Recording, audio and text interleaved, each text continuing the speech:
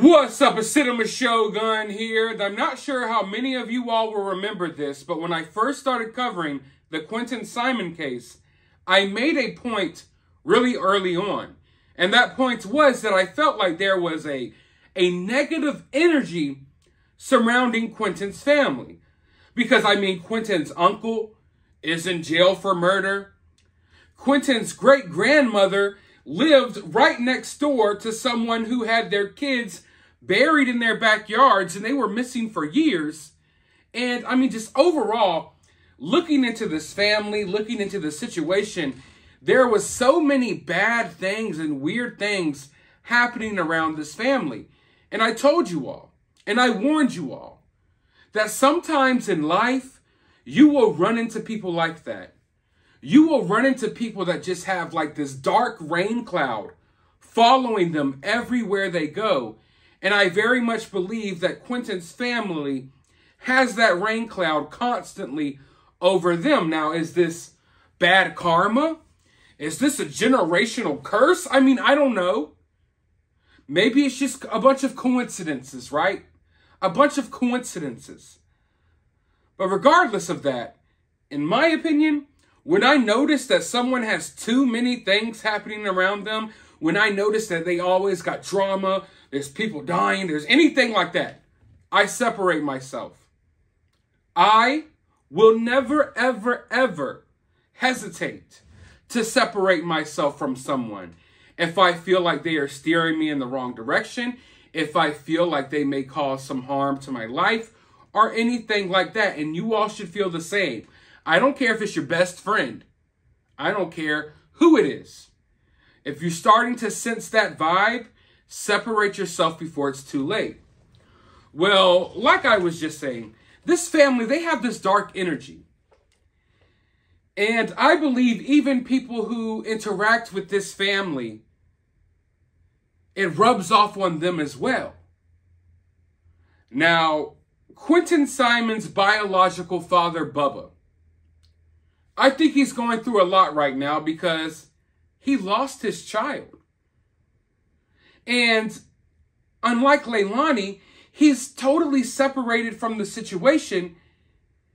And I just wonder how that feels. I don't feel like he was a big part of Quinton's life. But but I would imagine that he feels some type of guilt, some type of anguish. Maybe almost a sense of of not being able to control the situation. You know what I mean? Like a sense of helplessness about what happened to Quinton. Well, I believe it was uh, roughly about last week, maybe a week and a half ago, that Quinton's grandmother passed away. Bubba's mom. She passed away. And, you know, I felt so bad because, I mean, I feel bad when anyone's mother passes away. I've dealt with that myself, but also because he just lost his child. So it was like back to back. He lost Quinton and he lost his mother. Well, this morning, news rolled in that his father was killed last night. Yes, Quinton Simon's grandfather was killed last night. So before I even go any further in this video, let me say this. By, by if any off weird chance that Bubba is watching this video, I want you to know that my thoughts and my prayers are with you.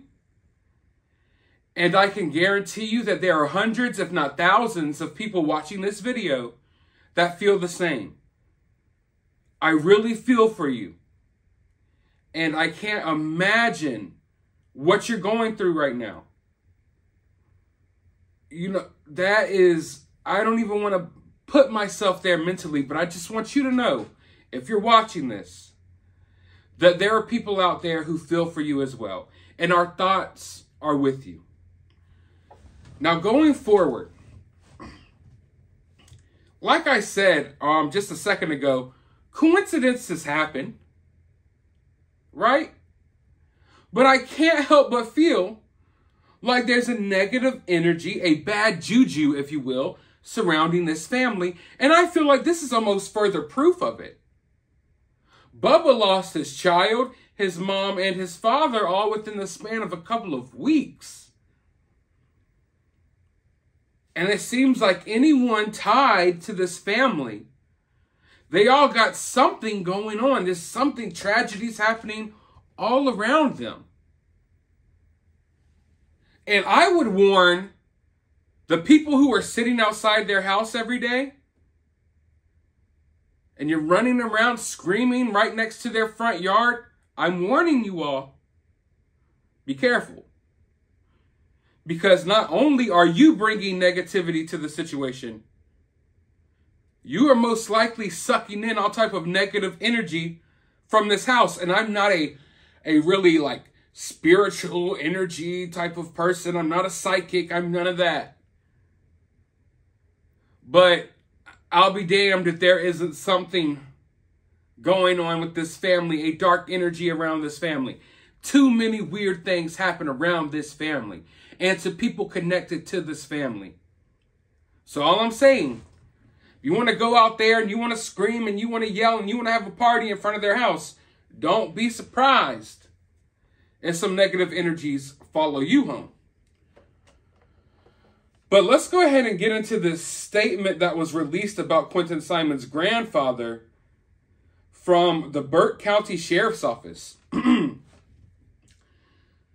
Burke County Sheriff's Office is assisting the Georgia State Patrol with a pedestrian fatality that occurred this morning on the 9900 block of Highway 23 between Claxton Road and Brigham Landing Road. When deputies arrived on scene this morning around 7:20 a.m., they found a deceased white male laying off the road. Preliminary investigation indicates the male was struck while on the road by an unknown vehicle. We are asking the public's assistance in identifying the deceased male and locating the person and vehicle responsible for striking this individual. The male subject is described as white, approximately 50 years of age. He was wearing a blue hoodie and gray shorts. He is approximately 5'11 and weighs about 290 pounds. It is believed the male was struck between 5:38 um, between sometime around 5:30 a.m. and when he was discovered. Sheriff Williams is offering a reward for the information that leads us to the individual responsible for this hit and run fatality. Callers may remain anonymous and call 706 554 2133 or reach out by Facebook Messenger on Burke County Sheriff's Office page, or you can send an email to j.wilds at bcso-ga.org. So he was killed in a hit and run fatality. And I mean, like I said, weird things happen. But, but I'll be damned if there's not so much stuff connected to this family. Now, unfortunately, I can tell you from firsthand experience that cases like this are rarely solved unless there's some type of traffic cam, which is way more likely these days. But then again, in this area where this happened, I'm not sure if they have a lot of cameras and stuff, you know, around. But I actually lost my best friend to a situation like this, where their body was discovered on the side of the road. And the only explanation we were given was that it must have been a hit and, a hit and run that happened in the middle of the night. Now, that story never sat right with me but no one could ever find out what really happened. This situation seems the same. It is believed that he had a, a tire issue, a flat tire or something, and he was walking to get help, maybe walking home, and he was struck along the way. And of course, whoever struck him kept on driving. We may never know who, who it was. But it blows my mind almost that while we have an investigation underway trying to figure out what happened to Quinton, we now have another investigation underway trying to figure out what happened to Quinton's grandfather. Simultaneously, as investigators in Georgia are investigating what happened to Quinton, investigators in Georgia are also investigating what happened to Quinton Simon's grandfather. Now, I know the way YouTube works. I know people are going to come up with some wild, off the wall theories. I don't think this is in any way, shape, or form tied to what's going on with Quinton at all in the least bit. I just think, like I've been saying over and over again in this video, that this family has this negative, crazy ass energy surrounding them, and people are being directly affected by it or indirectly affected by it. In my opinion, it's just when too many things happens to one family, it, it's hard to ignore. It's really hard to ignore. Is it karma? I don't know. I don't know. But I do know that I feel for Bubba and, and what he's going through right now. It's almost like he lost everyone in a span of a week or a week or two. And I hope that somehow he's able to hold his head up. I hope that he talks to people if he needs to talk to people. I hope he has some type of support system because he's damn sure going to need it going through all of this. But let me know your thoughts about this down in the comments below. Is this weird to you? Because it's weird to me.